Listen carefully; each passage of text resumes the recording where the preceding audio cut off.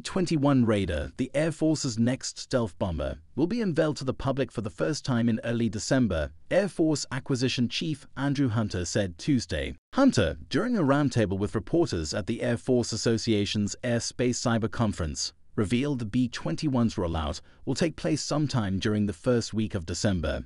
Other details of the rollout are still being finalized, he said. It will be the first time the Air Force has unveiled a new bomber since the B-2 Spirit's November 1988 debut at Air Force Plant 42 in Palmdale, California.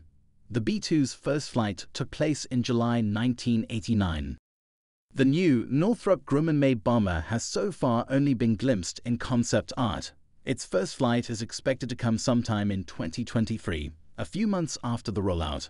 Northrop said in a release after Hunter's announcement that the date of the first flight will be set based on the results of ground tests.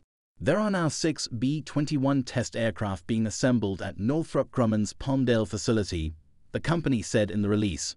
Northrop said in May the first B-21 finished its first of a series of ground tests at Plant 42.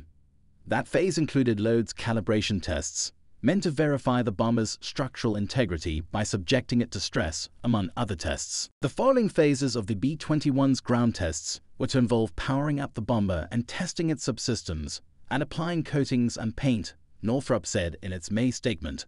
Before the B-21's first flight from Plant 42 to Edwards Air Force Base in California, Northrop Grumman will carry out engine runs and low and high-speed taxi tests, Formal flight tests for the bomber will take place at Edwards. The Air Force originally hoped, as recently as 2019, that the B-21's first flight would come in December 2021, but its schedule gradually slipped. Ellsworth Air Force Base in South Dakota will be the B-21's first main operating base, with Whiteman Air Force Base in Missouri and Dyess Air Force Base in Texas to follow.